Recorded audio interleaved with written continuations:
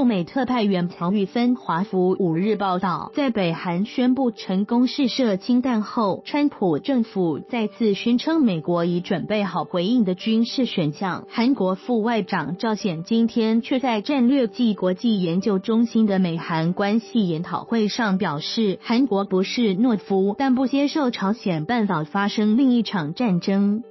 赵显说，韩国有两个不接受：一是不接受北韩为核武国家；二是不接受朝鲜半岛发生另一场战争。韩国明白川普总统为什么要说所有的选项都在谈判桌上，但大家需要避免误解和误判。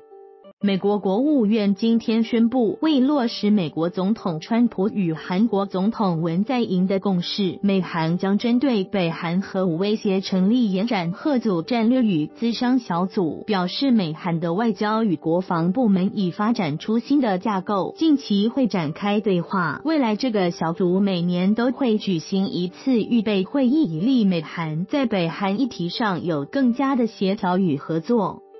赵显的说法显示，美韩在应对北韩核武威胁上出现落差，而且韩国的文在寅政府根本排除任何军事选项。赵显说，韩国人不是懦弱，而是清楚记得上次韩战的后果。韩国会做的是强化对北韩的制裁与压力。此外，韩国会借由放宽导弹弹头限制以及部署萨德飞弹防御系统，以强化对北韩的贺阻。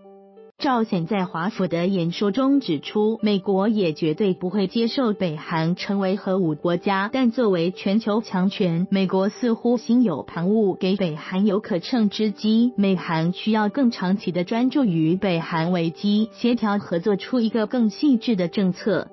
赵显解释文在寅邀与北韩对话的理由。他说，美国有人批评两韩对话的时机不对，但韩国有此需要。南北韩之间针对朝鲜半岛无核化的对话要看适当时机，但是另一种针对人道与非军事区的对话不能停。他们希望有朝一日第二种对话能创造有利条件，让第一种对话能顺利进行。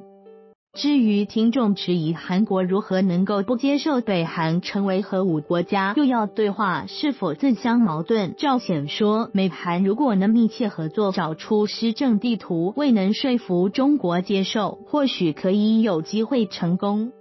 美国企业研究所亚洲研究中心主任卜大年认为，川普政府的政策是要北韩成为中国不可承受之痛，是北韩为负债而在朝鲜半岛无核化方面采取作为。他第一次见到中国如此惧怕情势的发展，日韩的攻击能力因北韩危机而加强，美国未来还可能制裁中国国有企业。他认为，川普最终会邀使中国合作。